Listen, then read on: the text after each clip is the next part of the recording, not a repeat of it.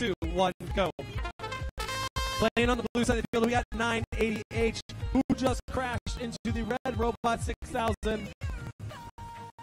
6053B and 980 making a collision and autonomous. Rubber bands are tangled up. Blue gets the red gets the bonus. Excuse me. We're gonna start driver control in three, two, one, go. Also playing in this match is 986B on the Blue Alliance and 169Y on the Red Alliance.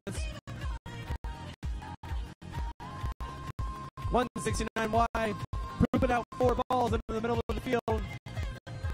Meanwhile, 980H overshooting a few layups.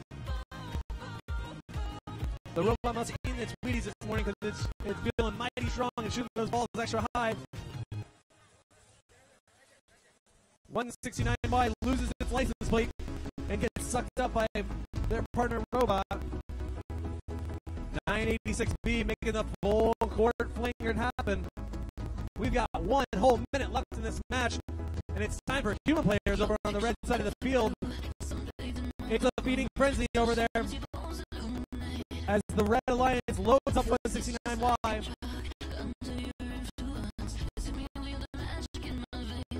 We've got 40 seconds left and balls are flying on the red side of the field.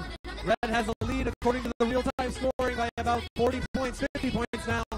Red is climbing up in the score. Blue has something to say about that, though 986B is making their human player making their human player count by feeding those balls into the robot. So lifting them up high